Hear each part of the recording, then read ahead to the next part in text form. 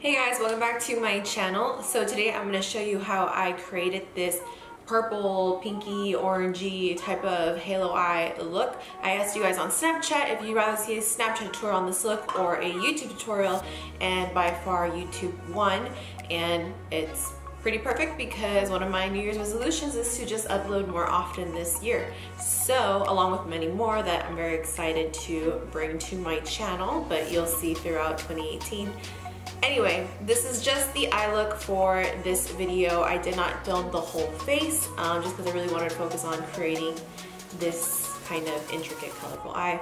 So if you guys like it, give it a thumbs up. Don't forget to subscribe to my channel. It means a lot to me. Also, you can follow me on Instagram, Snapchat, and Twitter. All links are down below. And if you want to see how I got this look, then keep on watching.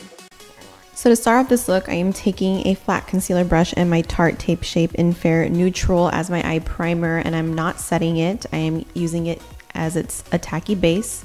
And I'm taking the Morphe 35B palette in that first shade and we're using a Morphe M511 brush. I'm going to start blending this color into the top portion of my crease. I usually like to start on the outer C of my eye, but lately I have been starting in this like high brow bone socket because um, I want to build up the most color intensity there and show the different layers of colors that I have going on. This is a new technique that I'm trying to incorporate into my looks. And I'm just building this color up until I'm happy with its intensity. I'm then taking this shade from the Kylie Cosmetics Naughty palette and I'm using the same brush and the same technique and just going over the exact same area. This is like a deeper, brighter version of the last color, so it's gonna just stand out a little bit more. And again, I'm just layering on top to create that perfect blend. This is one of those eye looks that your hand is probably gonna hurt by the end because it's just so much blending. I'm then taking the mixture of these two pinks with the Real Techniques Essential Crease Brush and just going back and forth a little bit lower than the first two colors and just layering and layering. As you can tell, I layered it to where it's pretty vibrant. It kind of even looks like a velvet hot pink um, type of material on my eye.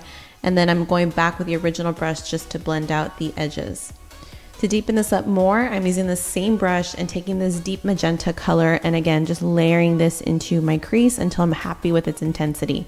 If you have fallout, do not worry, we're gonna clean that up later. Moving on to purples in this palette, I'm using the Morphe M506.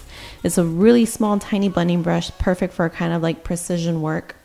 And again, layering these up. These two colors gave me a hard time. I find that the purples in this palette really aren't like too friendly. Um, so they do take a little bit of finessing in order to get that nice pigmentation. I'm then going back with the uh, essential crease brush and the first brush we used just to go over everything with no additional product, just going over to smooth out any edges. I'm then taking this deep burgundy shadow and pretty much just packing this all over the bottom half of my lid just to really darken up the inner and outer corners. I'm then taking the ColourPop Supernova shadow and I'm going to be just kind of tracing this up into the center of my lid into my crease. You're going to have to get familiar where your crease touches your eyelid if you have hooded eyes like mine best way to do this is just to dot near your lower, I mean, your lash line and look all the way up and it'll create like a mark of where your fold will touch the top of your eyelid. And that's like where you want to cut your crease essentially. Once that's dried, I'm going to be kind of, oh, here I'm just kind of fixing it at the top with my MAC 252 brush with a little bit more of that Supernova shadow, which is in the shade Moonlit. And then once I perfected it, because I wanted like a really sharp edge, and as you can tell, it's getting closer to the root of my lashes. It's kind of coming down like in a V to create that illusion of like a spotlight. I'm then packing on the MAC Reflects Translucent Pink Glitter with a little tiny shader brush just on the center to brighten it up. I'm then going in with more of that purple color and just a tiny bit of black shadow to deepen up the inner C and outer V. So many of you ask me how I do my wing liner or just my liner in general, and I always use a combination of these two. This is the Kat Von D Tattoo Trooper liner, and I first like to map everything out with this, um, but the one thing I don't like about this liner is that it doesn't dry matte.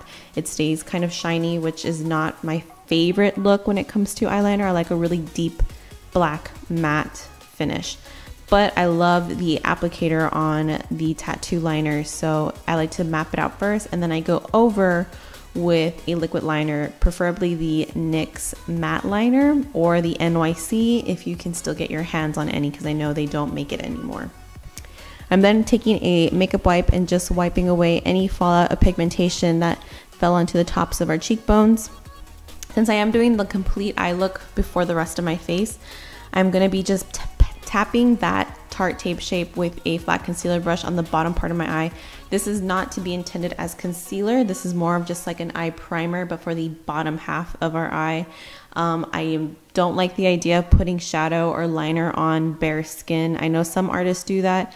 And if it works for you, it works. For me, I feel like my skin is too oily. I have too many little creases on my under eye that it just gets really messy and it's gonna move eventually. So for me, I prefer to do some type of primer or concealer underneath shadow if I am gonna do a complete eye look before the rest of my face. I'm taking a flat shader brush and just lining the root of my lashes with one of the deepest purples that we used for this look and then just layering it on with a pencil brush, some of the purples, and I'm going gradually lighter in reverse order from the shadows that we applied on their top lid. And I'm getting really comfortable with smoking out my lower lash line pretty far. Um, I personally have been enjoying it a lot more and I find that it kind of hides any type of creases or little wrinkles that you may have on your under eyes. So you may want to give it a try if you're brave enough. I'm then going to be aligning my waterline with the NYX white liner and going over with some white shadow to press it on and set it. If you have watery eyes like mine, this is a trick that you might want to try so your liner doesn't move on your waterline. Then I'm going to take a little bit of concealer on a tiny brush and just brightening up my inner eye socket because I want a really intense inner corner highlight. So I'm gonna leave this a little bit tacky and then going over with the Jeffree Star Ice Cold Skin Frost, which is very white ice type of highlight. And I'm just packing that on. And as you can tell, it's super bright and super pigmented because of the concealer that we put on underneath. For lashes, I'm gonna be taking the lashes in Lucrative from Enchanting Eyes and these are just your classic full lashes. And then of course I finished the rest of my face and this is the completed look.